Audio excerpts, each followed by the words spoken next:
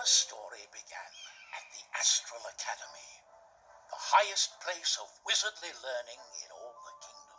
The academy housed magical secrets in its vaults, and the wizards had vowed to protect them from falling into the wrong hands.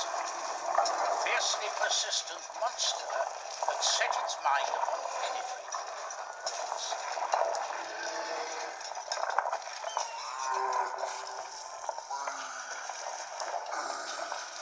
Oh, how odd. The monster is immune to our magic. With all these recent incidents around the academy, I'm beginning to think we need outside assistance.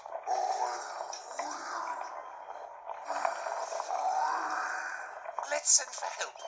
What we need is our heroes.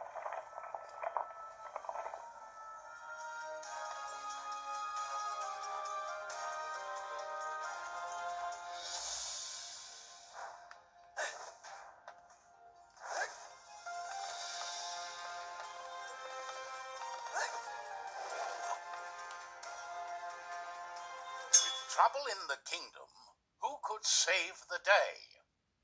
Why, of course, the three heroes of our story Amadeus, Pontius, and Zoya. Once upon a time, they had all lived ordinary, unremarkable lives. At that time, Pontius, a stout hearted knight and protector of the common folk, was busy at work. He was tracking a thief who had abducted a sheep from a poor peasant family. The no good bandit is hiding somewhere in these ravines. I'll catch him and save that sheep, or my name isn't Pontius the Brave.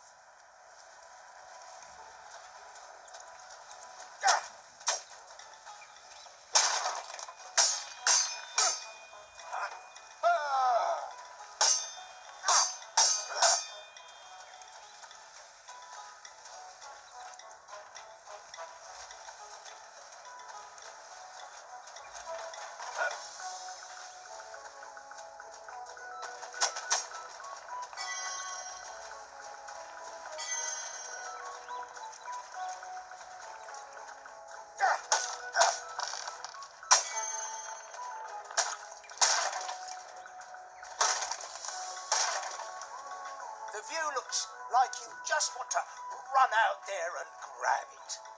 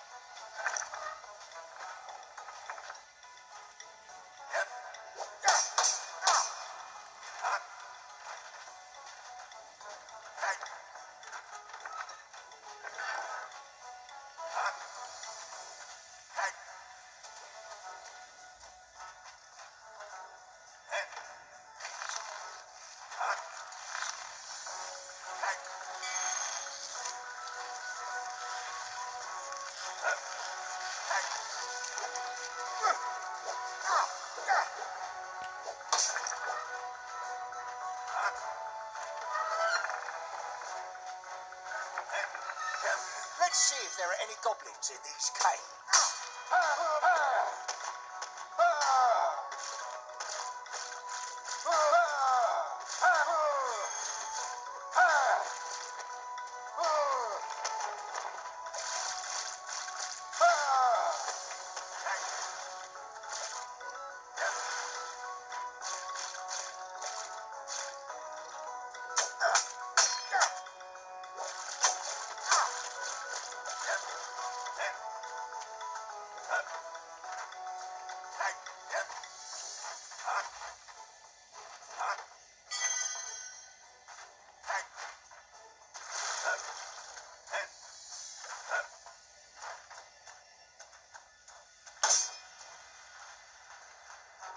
kiss the sheep and I'll let you go.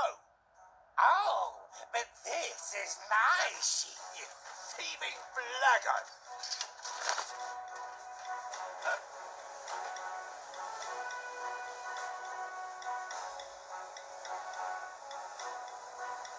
He won't be getting away.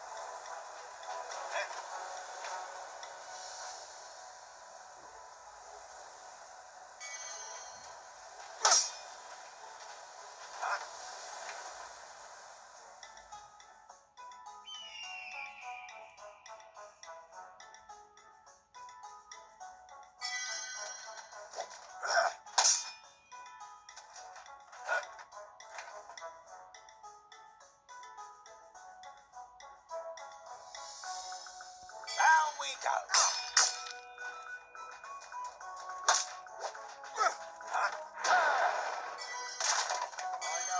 Throw my weight around.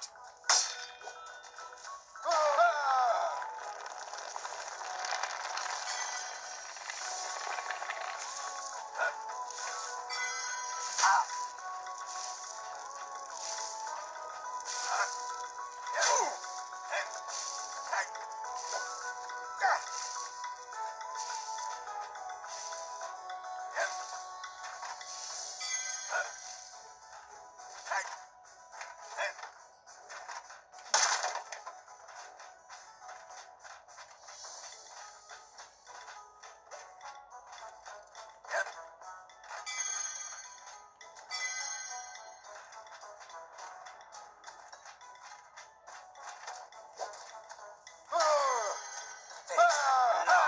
That bullshit is about to end up as goblin grub if I don't do something.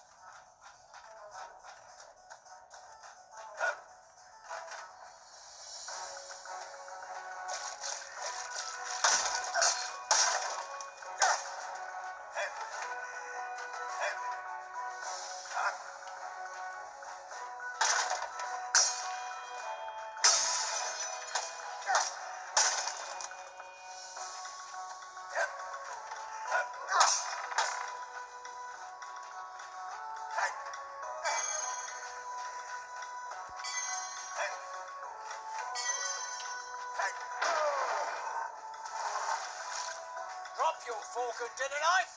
This sheep is going back home with me.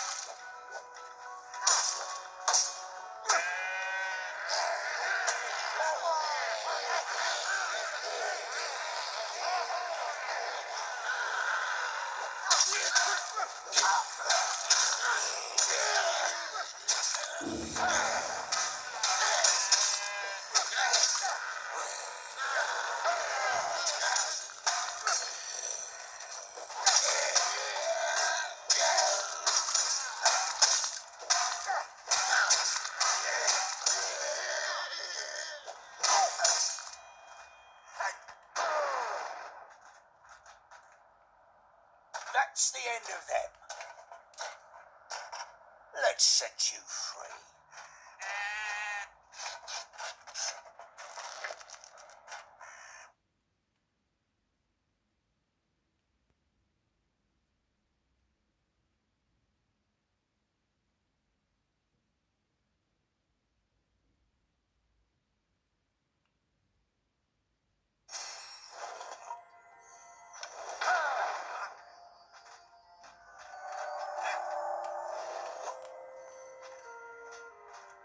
Pontius was the strongest and bravest of them all, Zoya was another matter entirely.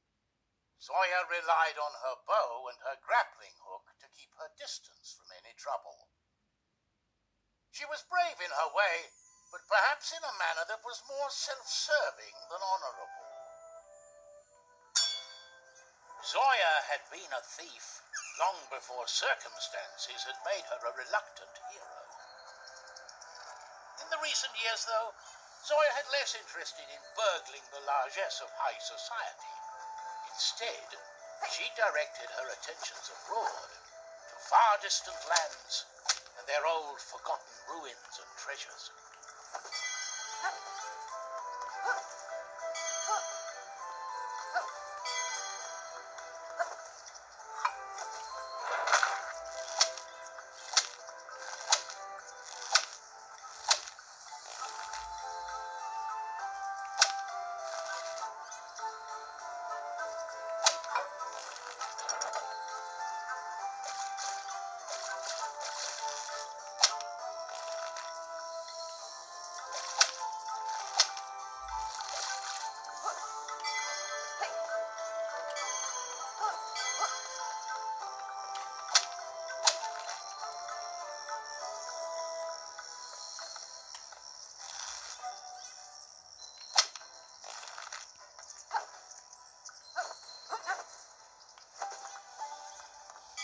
It is, my giant emerald.